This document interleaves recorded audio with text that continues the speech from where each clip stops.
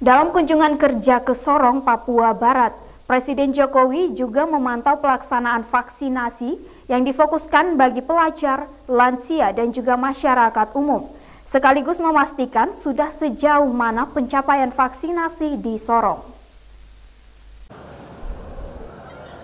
Saat tiba di Gedung Serbaguna Yonif 762 Sorong, Presiden Jokowi kemudian menyapa sejumlah pelajar yang sudah bersiap untuk melaksanakan vaksinasi massal.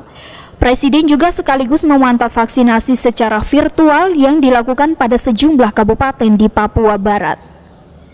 Presiden Jokowi mengajak masyarakat untuk ikut pelayanan vaksinasi di sejumlah fasilitas kesehatan, sehingga capaian vaksinasi di Papua Barat dapat segera tuntas.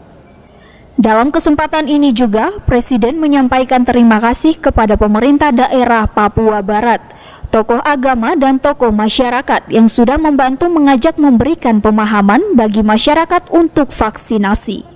Saya mengucapkan terima kasih kepada pemerintah daerah, kepada tokoh agama, kepada tokoh adat, tokoh masyarakat yang telah mengajak masyarakat, pelajar, mahasiswa untuk berbondong-bondong ikut vaksinasi massa. Terima kasih. Saya tutup. Wassalamualaikum warahmatullahi wabarakatuh.